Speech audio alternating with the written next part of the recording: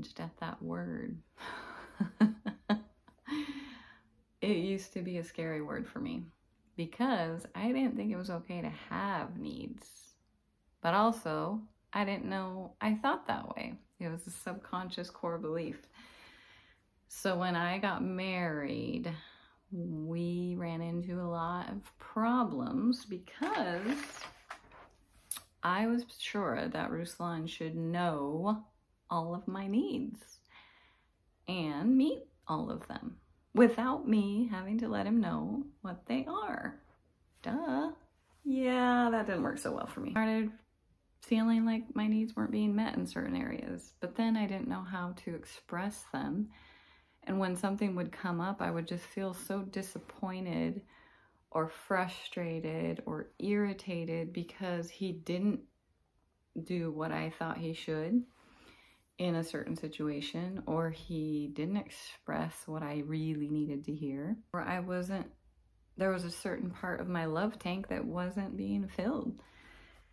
And I thought for sure it was his problem. It's way easier to fix his problem than look inside. That's no fun. So God just started showing me that I had an issue with being okay with the reality that I even have needs. And the even bigger, scary part was that only this guy, my new husband, could fulfill those specific needs. So freaky. I need to not only let him know what I need, but he's the only one that can fill those needs in a marriage. That's scary. That's the rubber hits the road. Oh dear, we're like putting it all on the line in this marriage. If we want this marriage to work, we have to fully engage the heart, fully show up, and fully be honest with ourselves, be vulnerable, and express those needs. It's not easy. I just had this happy interruption. You want to say hi? Hi. This is life as a mama doing what God calls us to do. Ah, you're my favorite Liam in the world. so some of my obstacles to expressing my needs were vulnerability, showing weakness, having needs. And so when I would get my feelings hurt or be bummed that something didn't go according to what I really hoped and I didn't express, I would literally almost feel frozen to express that. Like, first I was feeling shame that I had a need and that it wasn't met and that I could feel something so strongly. And then I felt embarrassed that such a small thing meant so much to me. And then I didn't want to be so vulnerable to Ruslan that then he could maybe use it against me later. You know, I didn't know his heart fully yet. We are still in the new phases of marriage. But I had to trust him with my heart. And that doesn't just, boom, happen so easily. And for some of us, it's a lot harder. And then I had triggers that from things that were from trauma from the past that marriage brings up all the triggers that you have hiding in there. You can't hide from any of them. They will all be exposed. I didn't know about triggers when I first got married. All I knew was this man is not doing everything right. Neither was I. But I was shocked at some of my triggers because I had such an explosive reaction to certain things.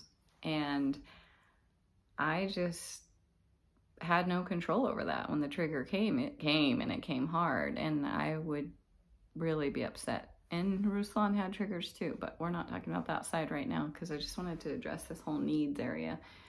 One of those triggers was that I found out Ruslan really loved to game. We got a computer and he did not know this about himself either because when he was growing up, he didn't have computers. So he was excited about this new discovery and he would be staying up till 2, 3 in the morning and then leaving for work at 9 a.m. and we would barely get any time together when he got home from work. And quality time is one of my big deal things in marriage. But I didn't know how to ask for that gently or without nagging. I was so mad that he would not know that's obvious that his wife would want to spend time with him. So then I was building up in bitterness and offense. And then he would come to bed after gaming and I would just be seething. And then, I'm sorry, Ruslan, I'm not trying to be mean to you, but this was one of the areas that brought my triggers out. Um, he would not even touch me or roll towards me or like kiss me on the forehead or anything. He would actually just lay down on his back and go right to sleep. And that was just like a thousand times worse because what that said to me was he doesn't even care. He doesn't even want to spend time with me. Oh my gosh. And, you know, looking back to, he didn't do it every night, but we had no protocol for it. We hadn't come to any agreement on how much he could or couldn't do. And then the only time it would come up is when he would do it so much and then I would be mad and then we would fight instead of being able to just talk about it in a peaceful way. I had already the bitterness and hurt built up. And years later, it's funny, you probably already figured that out, but when he would come to bed and wouldn't touch me or hug me or cuddle towards me, it was because he didn't want to wake me up. But little did he know I was wide awake at that point, waiting for him to get to bed. So I know, silly. I could have just gone out and been like, hey, honey, could you come to bed now? Well, no, because I was too hurt. And I was believing that eventually he would see how much it's hurting me and would change his habits. Not. So that's something that has been a really big thing in me learning that I can use my voice. I can voice my needs. I'm not trapped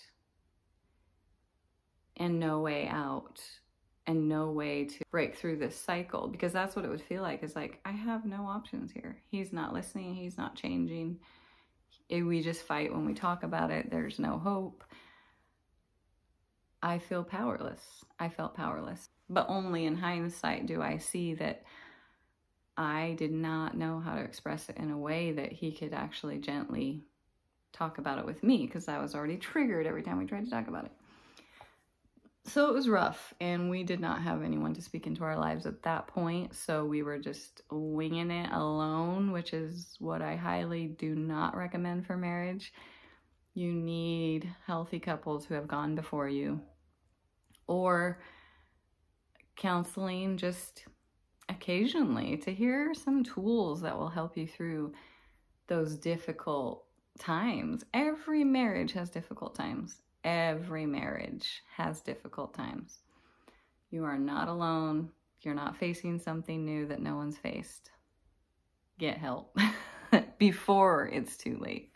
Ruslan did not want counseling, and I didn't really either because I too much do not like being a failure at things, and neither does he. So I was like, we'll figure this out. We'll get through it. And, you know, not the whole marriage was like that, but that, you know, it was like some of those patches where it was just like rough.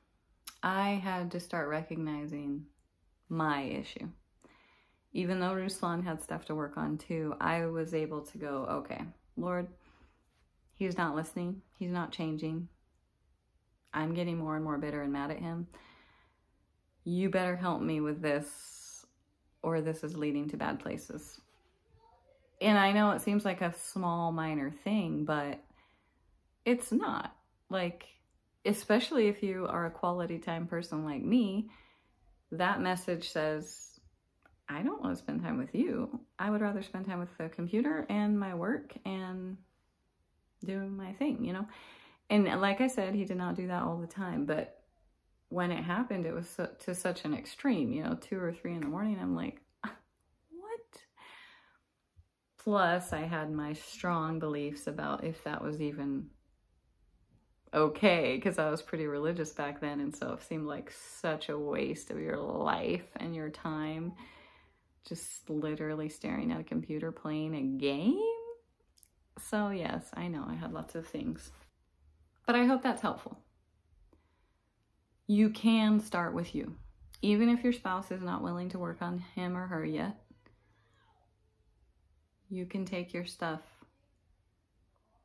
to God and you can say, Help, I'm willing to change. I see that I have issues here. I do want to heal. And when one person starts to change in a relationship, the relationship starts to change no matter what. And that, I wish I would have known that in those early years because I thought if he's not on board, there's no hope. We can't fix our marriage. That was a lie. So there's that. Have a beautiful day.